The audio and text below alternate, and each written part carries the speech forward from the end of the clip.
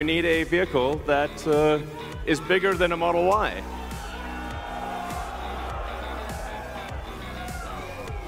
The, the Robovan.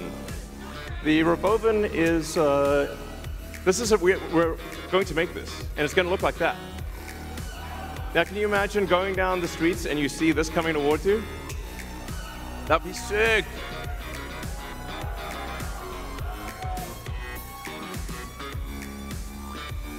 So this can, this can carry up to 20 people, and it can also uh, transport goods. So you can configure it for goods transport within a city, uh, or transport of up to 20 people at a time. So this is gonna, the Robovan is what's gonna solve for high density. So if you, if you want to take a sports team somewhere, or um, you're looking to, to really uh, get uh, the cost of travel down to, I don't know, five, ten cents a mile, then you can use the Robovan. Some people call it the Robovan, but uh, so yeah.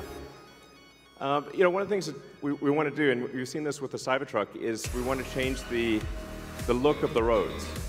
You know, the future should look like the future.